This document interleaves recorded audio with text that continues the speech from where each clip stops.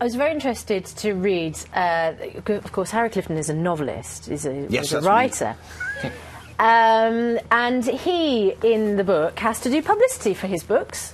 Yes. And there are certain rules that he has to stick to, and there are certain Yes. frustrations he has with interviews about Yes. books. And I wondered how much of your frustrations with interviews about your novels are sort of bleed into this experience. Well, I, th- I decided to make Harry a novelist on the grounds that it was a subject I hadn't touched in any of my books.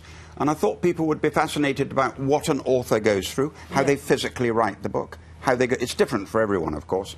But also bring in the touring of a country, say the United States of America. When Kane and Abel came out, I had to do 17 cities mm. in 21 mm. days. You don't do that nowadays.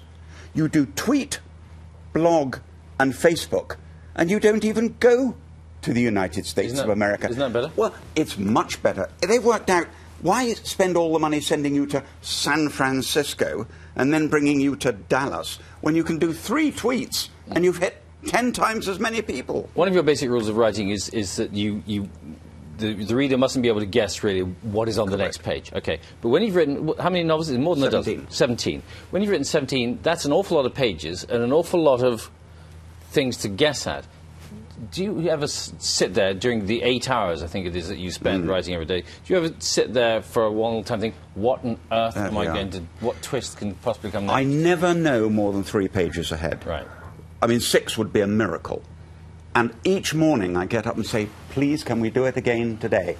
The twists and the turns come on the day. For example, at the end of the first book, the press were very generous about the sudden twist at the end of the book. It came that morning.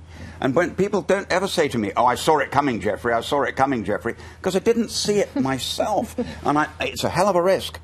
Because some authors plan out every chapter. and you can paint yourself into a corner, surely. Oh, certain. Oh, two or three times have. But the great uh, Corley Smith, the greatest editor of all, who edited J.D. Salinger, said, he said, paint yourself into a corner because the reader will never be able to work out how to get out. And if you take three or four days getting out, it doesn't matter because they'll be on to the next page.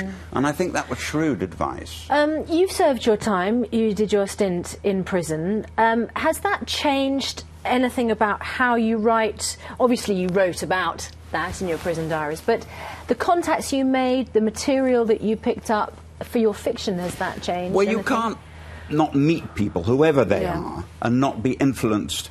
And of course, I met so many interesting people from different backgrounds who'd had a very different life to mine. Of course, they would get in the books.